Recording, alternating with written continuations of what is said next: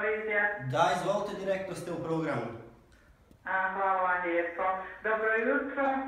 Dobro jutro, izvolite. E, ja sam se htjela javiti u ovu emisiju što vodi naš Batko cijenjeni. Pa evo, Batko, Batko trenutno nije tu, on je trenutno onaj... Otišao u drugu televiziju da radi. Aha, dobro, htjela sam Kapi, rekao ako se može dobiti to i da ga pozdravim i cijelu ekipu i tako. A, nije, nije, vi ste pogriješili, gospođo. Nije ovo Nije, nije, vi ste pogriješili. Dobro, izvinite.